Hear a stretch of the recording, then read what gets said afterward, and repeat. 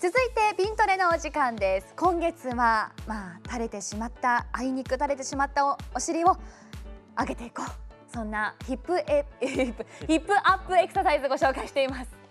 2017年日本一の美ボディに輝いたゆこさんに教えてもらいます。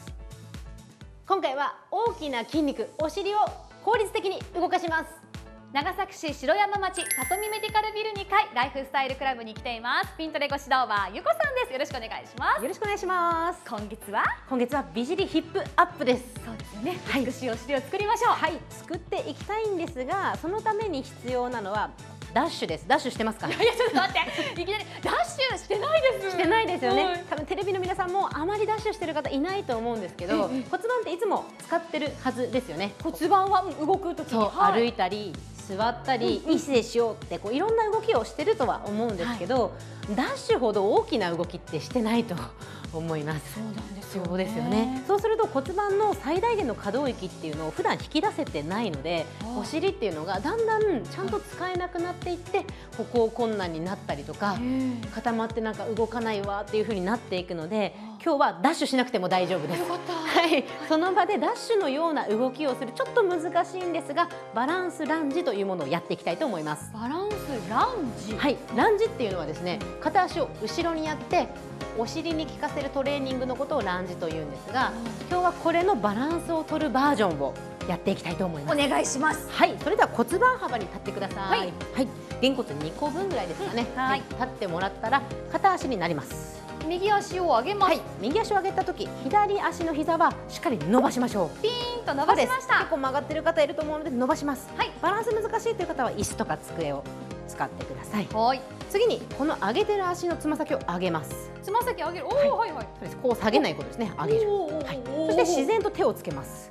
あちょっと走るポーズになんかそうです似てますねそうです。はい右足が上がってるので左手が前。前そしたらこの右膝を左膝に近づけましょ右を引いて後ろですね。お。タッチするようなイメージです。お。手も自然と入れ替わりますね。はいはい。そして、はい、左のお尻を使って元の位置にピーンと戻ります。左。お尻を意識ですよ。左膝しっかり伸ばして、また後ろに右膝も、はい、バランスとっても大変なんですけど、アップピーンとつま先上げて、足離れすぎないように気をつけましょう。おおこれかなり左のお尻がピーンと使われてます。はい、はい。ラスト一回いきましょう。はいわかりました反対もやります。同じことですね。骨盤幅に足を開く、片足を上げます。足上げます。そう、左足上げたら右膝ピーンですね。そして左のつま先をしっかりと上げて、上げて。はい、手を自然とつけます。はい、そしたら左膝を右膝の後ろにタッチしに行きましょう。はい、そしてまた右足のお尻を踏んでクッと上がります。そうです膝を伸ばしてつま先は上げて、はい、あと少し頑張りましょう。右お尻をしっかり踏んでアップ。はい、素晴らしいです。こんなに？そうです。もうダッシュと同じ効果があったかと思いますが、ね。はい、しっかり足を上げることや後ろにやることで最大限に骨盤使えるので、はいはい。美尻にも近づいてきますしいつまでも健康に歩ける体にもなっていきますので、ぜひバランスランジやってみてください。はい。ゆかさんは LINE でも情報を発信しています。はい、LINE でライフスタイルクラブと検索いただきピントレとお送りいただいた方に本日は美姿勢解説動画をプレゼントします。ぜひピントレとお送りください。ゆかさん今日もありがとうございました。ありがとうございました。以上。ピントレでしたもうダッシュしなくていいんですよ。